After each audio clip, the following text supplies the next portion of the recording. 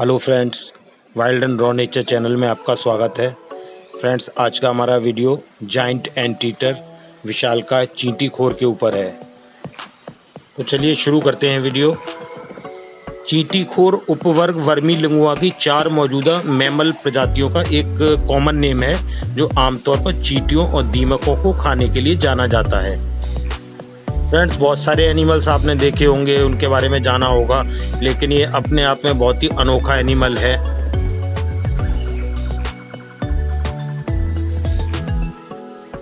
Anteater की प्रजातियों के अंग्रेज़ी और अन्य भाषाओं में अलग अलग नाम होते हैं।